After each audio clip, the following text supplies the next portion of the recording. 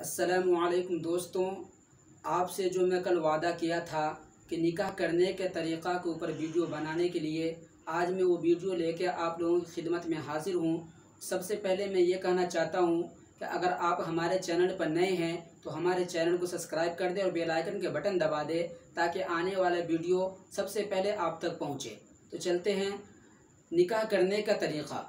Number एक, निकाह इसलिए किया जाए कि हजूर पाक मोहम्मद नबी सल्लल्लाहु अलैहि वसल्लम की सुन्नत है तो इस पर सवाब मिलता है। नंबर दो, निकाह के लिए नेक साले फ़र्द को तलाश करना और मंगनी या पैगाम भेजना, ये भी हमारे मोहम्मद नबी सल्लल्लाहु अलैहि वसल्लम की सुन्नत है। नंबर तीन, जुमा के दिन मस्जिद में और शवाल के महीने में निकाह करना, ये भी पसंदीदा और सुन्नत अमल है।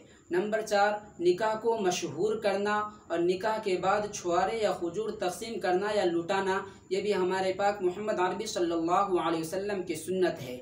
नंबर पाँच नंबर पाँच, निकाह में कम खर्च करना। कम खर्च करने से उसकी ज़िंदगी में बरकत होगी। इसके मतलब ये है कि निकाह में सादगी हो। नंबर छः, जब शादी की पहली रात बीवी से तन्हाई में मिले तो सबसे पहले उसके पेशानी के ऊपर के बाल पकड़कर ये दुआ पढ़े।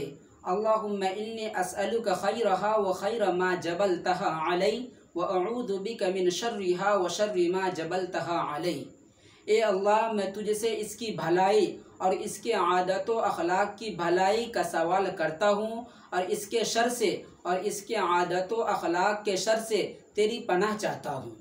नंबर सात, जब बीबी से सोहबत का इरादा करे तो ये दुआ पढ़े।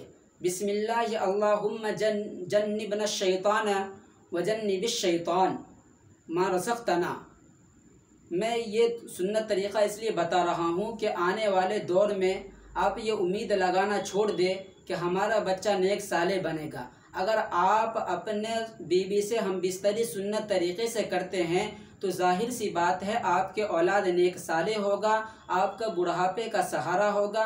अगर आप अंग्रेज़ का तरीक़ा अपनाते हैं तो ये उम्मीद लगाना छोड़ दे कि हमारे औलाद हमारे बुढ़ापा का सहारा बने। तो मैं आखिर में भी एक बात कहना चाहता हूँ कि हमारे चैनल को सब्सक्राइब कर दें और बेल आइकन के बटन दबा दें ताकि आने वाला वीडियो सबसे पहले आप तक पहुँचे। इन अगला वीडियो जो होगा, वो इस्लामी नाम के ऊपर होगा।